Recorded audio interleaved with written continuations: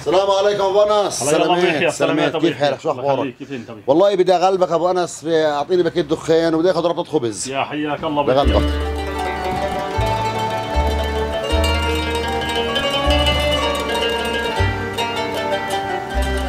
يا حبيبي فيش إلا عشرة شيكل.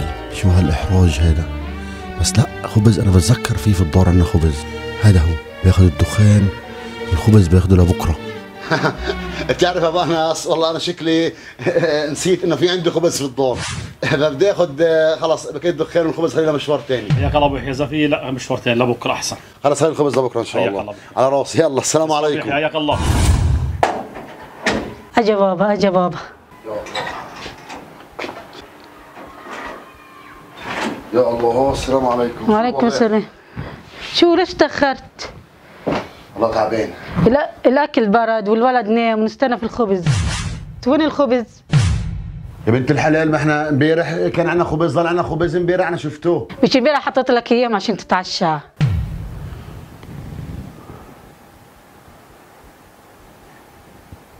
مظبوط.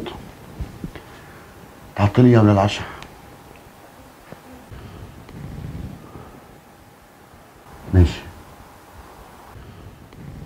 خليني أروح أجيب خبز. نسيت أجيبه. صح أنا فكرت إنه في عندنا خبز. أروح أجيب خبز.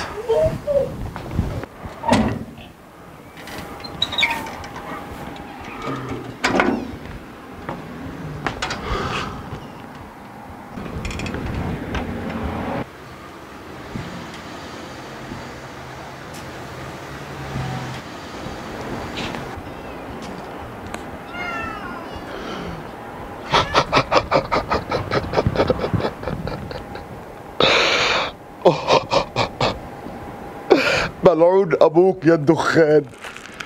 ملعون أبوك يا الدخان. ملعون أبوك. ولادي بيستنوا قاعدين على الطاولة ده خبز أنا أنا جبت رحت دخان. والخبز ما جبتوش. ملعون أبوك يا الدخان. ملعون أبوك يا الدخان. ملعون أبوك يا الدخان. أنا بديت الدخان عن الخبز.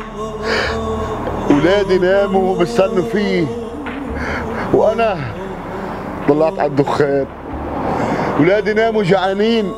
ناموا جعانين وبستنوا عشان ياكلوا.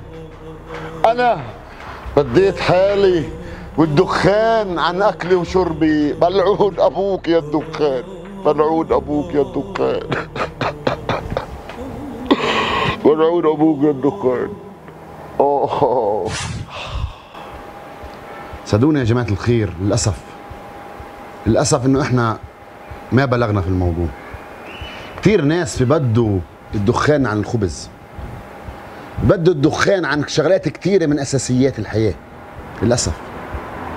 يمكن التدخين والدخان اختلفوا فيه العلماء والفقهاء ما بين حرام وما بين مباح ومكروه مش عارف إيش. أنا زلمة مش مفتي أحكي في موضوع الشرع.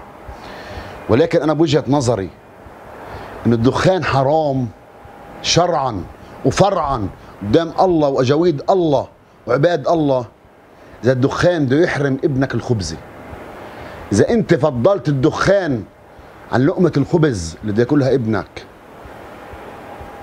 أصبح الدخان حرام. وبوجهة نظري بداش إفتاء. ولا بدها مفتيين ولا بدها جمهور علماء بدوش يا جماعة الخير بدوش. الدخان عن متطلبات الحياة. تحياتنا وأشواقنا.